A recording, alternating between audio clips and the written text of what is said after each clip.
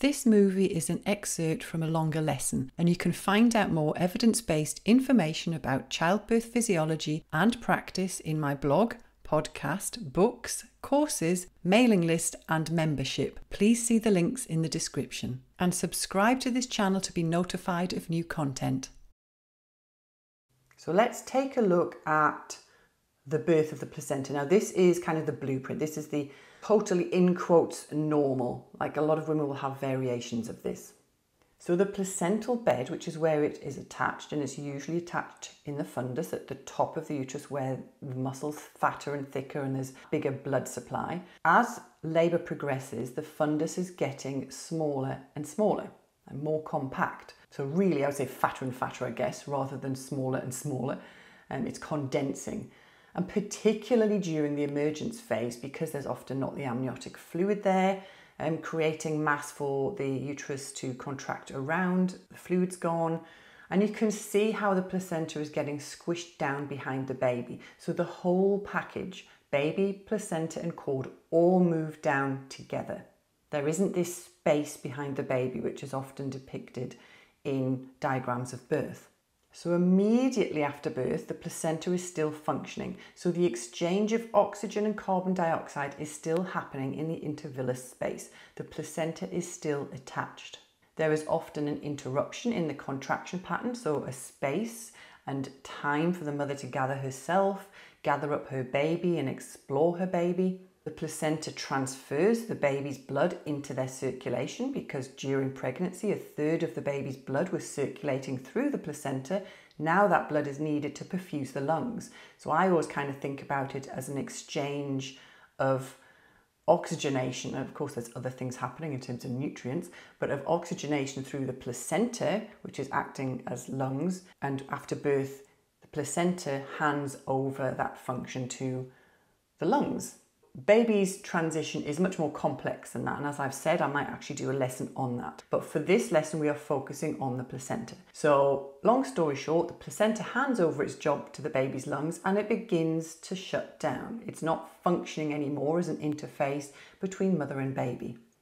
Now, when the umbilical cord meets the air, it causes the jelly that's surrounding the umbilical cord, that's called Wharton's jelly, probably again after a man, but let's just call it the the jelly that's covering the cord to actually expand, which clamps off the blood vessels. Cold and stimulation of the cord, you know, the mother picking the baby up, the baby's feet kicking it, the kind of tension and the tugging also contribute to that shift and change in the surrounding jelly. The uterus is now much smaller because the baby's not inside either.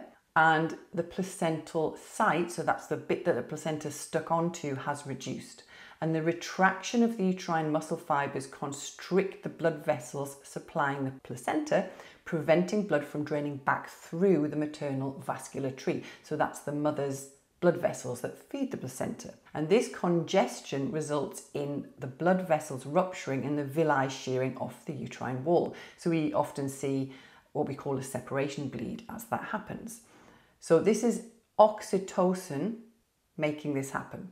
So it's oxytocin that's created from the mother and the baby interacting with each other that causes this, these contractions that help to separate the placenta. A clot forms behind the placenta, so there is a bit of bleeding from those blood vessels as they shear off, and the blood and blood clot form behind the placenta, which creates some further weight right in the center of the placenta, and it encourages it to move downwards. And the non elastic placenta can't hold on anymore to that placental site as it shrinks and contracts and it peels away and it usually stops from the middle aided by that blood clot that's kind of adding some gravity and some weight into it. And again, it is the mother and baby interaction and subsequent release of oxytocin that creates the contractions necessary to then clamp down on all of those sheared off blood vessels and stop them from bleeding. As the placenta moves out of the uterus and into the vagina, the woman may or may not feel an urge to push.